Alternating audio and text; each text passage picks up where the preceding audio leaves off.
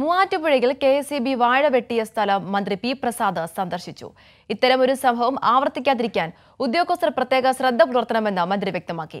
മന്ത്രിയുടെ സന്ദർശനത്തിന് സന്തോഷമുണ്ടെന്ന് കർഷകൻ തോമസ് പ്രതികരിച്ചു. ഇവിടുന്ന് കൃഷി വകുപ്പിന്റെ ഉദ്യോഗസ്ഥരെ ഞങ്ങൾ അന്ന് തന്നെ ഇവിടെ സന്ദർശിച്ച് റിപ്പോർട്ട് തരാൻ വേണ്ടി ചുമതലപ്പെടുത്തിയിരുന്നു.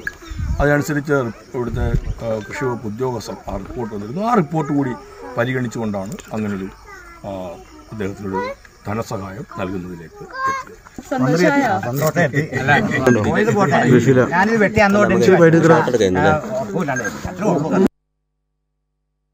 ശ്യാം ചേരുന്നുണ്ട്. ശ്യാം വാട് വെട്ടിയ സ്ഥലം സന്ദർശിച്ചുകൊണ്ടായിരുന്നു മന്ത്രിയുടെ ഇത്തരത്തിലൊരു പ്രതികരണം. മന്ത്രി എന്തൊക്കെ കാര്യങ്ങളാണ് വ്യക്തമാക്കിയത്?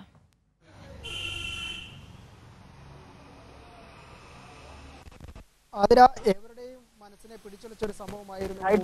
ഈ തോമസ് മൂവാറ്റുപുഴ സ്വദേശിയായ കൊതമംഗല സ്വദേശിയായ തോമസ് ചേട്ടന്റെ മൂവാറ്റുപുഴ സ്വദേശിയായ കോതമംഗലം സ്വദേശിയായ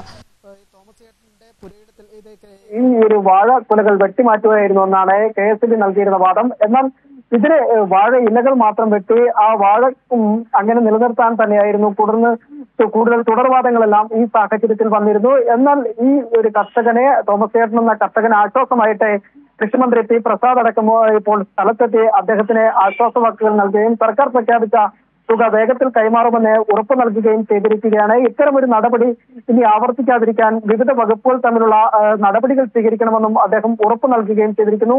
എന്തായാലും കൃഷിമന്ത്രിയെ അടുത്ത് കണ്ടതിന്റെ സന്തോഷത്തിലാണ് തോമസ് ചേട്ടനും അതോടൊപ്പം തന്നെ നാട്ടുകാരും എല്ലാം തന്നെ അത് അവർ മന്ത്രിക്ക് മുൻപാകെ അവർ പങ്കുവെക്കുകയും ചെയ്തു. ആ ഒരു സന്തോഷം പ്രകടിപ്പിക്കുകയും ചെയ്തു. അതോടൊപ്പം തന്നെ തോമസ് ചേട്ടൻ മറ്റൊരു കാര്യം ഈ കർഷകൻ കൂടിയായ തോമസ് മറ്റൊരു കാര്യം കൂടി പറഞ്ഞു വെക്കുകയും ചെയ്യുന്നു. അതായത് ഈ കർഷക വിളകൾ നശിച്ചതിൽ പക്ഷെ സങ്കടമില്ല.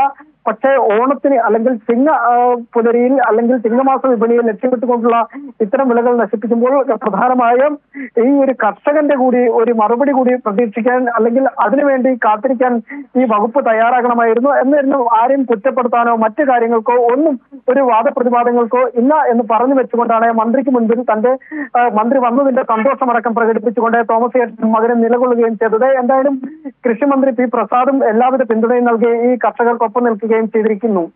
ആതിര